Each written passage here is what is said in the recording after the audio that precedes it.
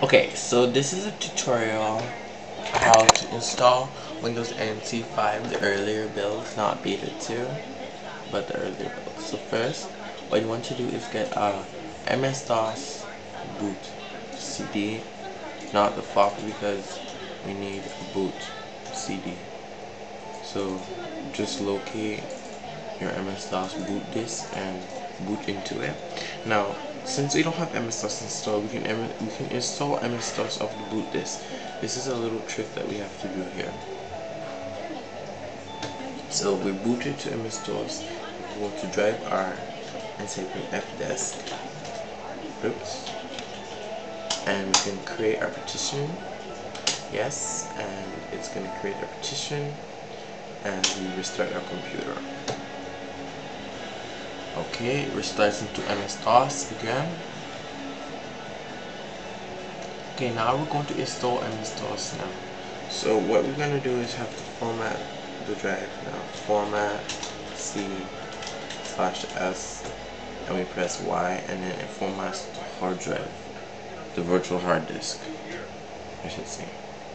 Okay, it's finished. So we press enter and now we're going to copy space go star you press shift star dot star to C. Just go to C and write and type Y.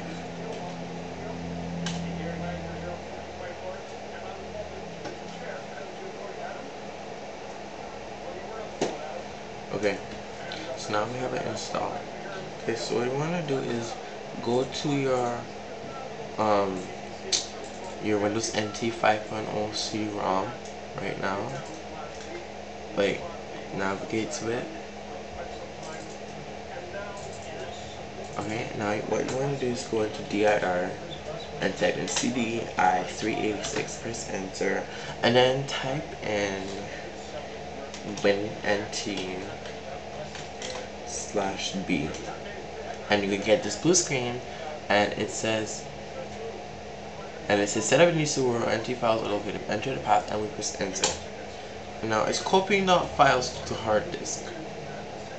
I'm gonna pause the video right now just let you know, if it says if it's unable to copy the banana.ini file, just skip it because that is what the CD drive, the CD-ROM driver's signature is, and you don't need it for the installation. So just press escape to skip the file and hit X because it's not really important.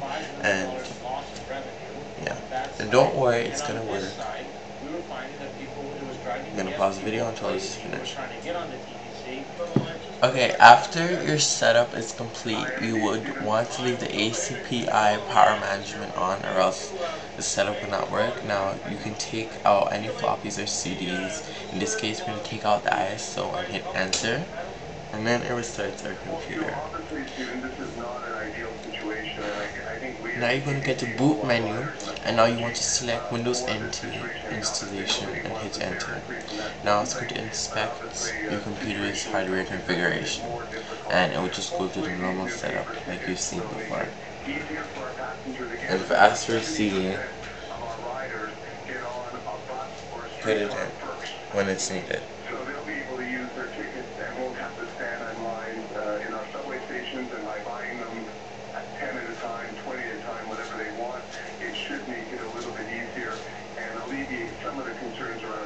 Pause the video. Okay, so recap, I just had to disable the ACPI power management because it will cause the video driver to crash and the setup will not continue. So in the BIOS, you want to disable that so you can continue setup. Press enter, like your normal enter setup. Enter, you accept the license. You want to accept the license agreement. Hold on a second.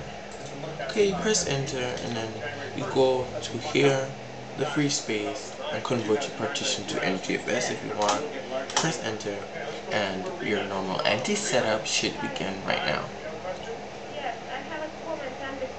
Okay, so right now it's going to copy all the files to your hard drive once again. It's going to do this very quickly and it's not going to take as much time as the one during the MS-DOS installation. So we're just gonna, I'm gonna pause. Okay, so now it's done we're going to restart the computer, hit enter, and it will boost the virtual machine. Don't touch anything, just let it load.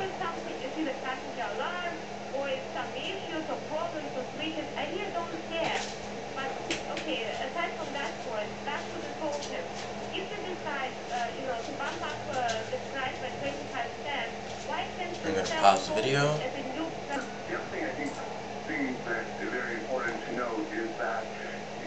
Okay, so it's just loading now.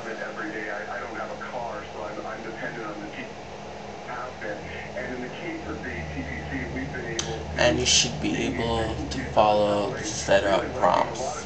Thanks for watching.